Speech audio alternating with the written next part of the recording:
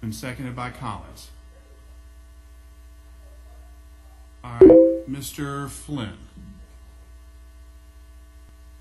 Well, I'm going to ask that gentleman's question. Um, what is the difference in savings between a seven and a half year plan and a five year plan? Director Collins, do you know? Are they here?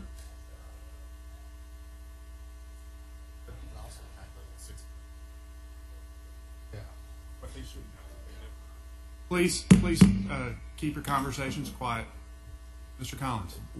We, we haven't, we haven't run that, and, and it certainly would be, uh, by, by, by definition, it would have to be uh, considerably, considerably less than the, the savings that are on the table from the, the current amendment. Um, But, it- I don't know, it, it, it would take time to come up with that number, but it would be considerably less than what you're looking at right now. Thank you. Mr. Flinn, you still have the floor. Uh, I'll reserve the rest of my time. Thank you. All right, Mr. Collins. Thank you, Mr. Chairman. Just an observation and then maybe um, a request. I find it interesting that um, Director Collins could speak fluently and coherently about the seven and a half years when he first heard it two weeks ago, but we can't speak fluently and coherently about the five years today. Secondly, Mr. Chairman, I would like to move that one, we send this to hold this for two weeks to allow the numbers to be run by the administration, but also contact Segal and ask them to verify the seven and a half year number and the five year number for for for us to really debate this and have complete understanding. And so that would be my motion if we could move this for two weeks and let Segal and the administration come back with their report so we can have a full vetting of both of these proposals. All right, you can have two motions at the same time, so set up special item four, which is the uh, motion to delay for two weeks. There's, it's been moved by Mr. Collins, if you could do it electronically. And who's it seconded by? I'll second. Been seconded by Lowery. To delay, we're on the motion to delay. Mr. Brown. I was second, I was second the motion to delay. All right, uh, do you want to speak Captain on, Harper, I'm sorry. do you want to speak on it? No. I don't want to speak on it. All right, seeing no one in the queue, set up a vote. Mr. Harris. I think the last time this council convened, when we passed around the concept, I could have sworn the five years was on the concept document. And so the same formula that was used to come up with the numbers, and again, maybe they need to be verified. I'm not saying they don't need to be verified. I'm just saying that that concept had a five-year alternative and had stating, savings associated with it. But again, I'm not saying it doesn't need to be verified. I'm just saying that that, that concept had all these scenarios. Oh.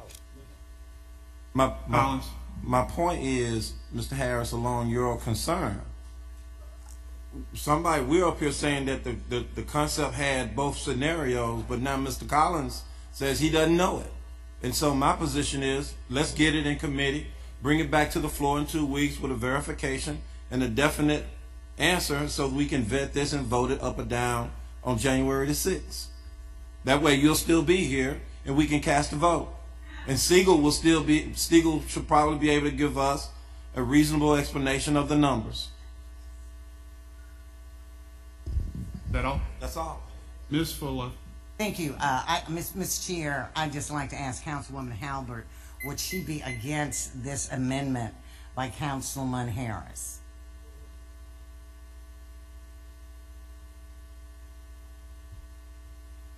Ms. Halbert, do you want to? Yeah, as a friendly amendment.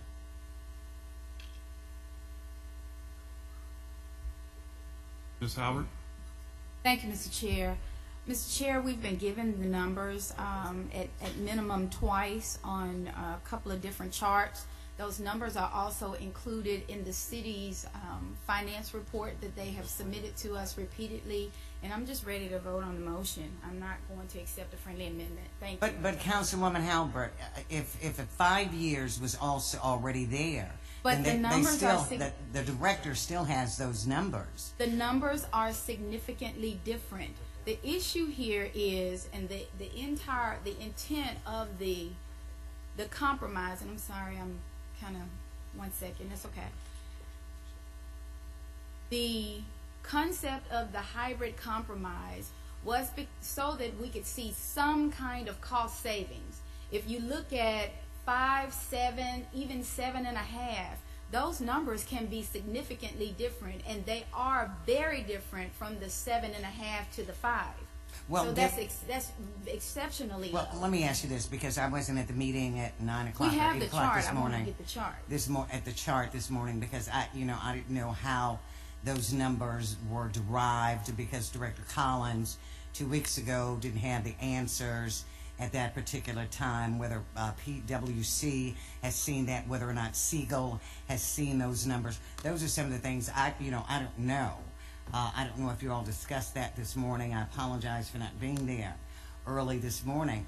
But, uh, but I think, I don't, I don't see what a delay uh, in January, for January 6th, how that is going to hurt anything at all except to give uh, more council people like myself an opportunity to really, uh, whether talk to Segal, I've tried to call Eric and, and Rocky several times and we played uh, phone tag, but just to gain some understanding uh, on my own before I can make some kind of definitive answer on, on this compromise. Mr. Chair, if Mr. Chair, Sure. if I may, Director Collins.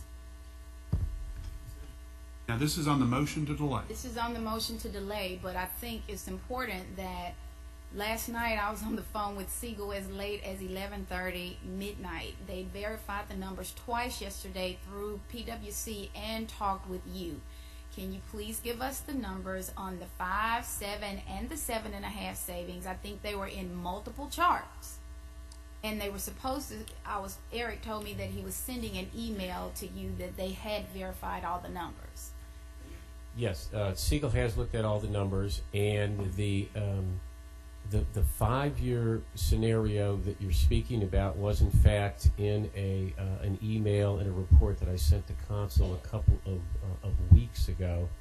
Uh, but it is different. Uh, I have to caution you in kind than the proposal that uh, Councilman Harris is making because when we uh, provided that five-year number before, it was not with the same type of treatment of the uh, the uh, the benefit earned to date. That was under the mayor's plan, which had employees getting a return of their eight percent contribution, and that amount rolled into the hybrid plan.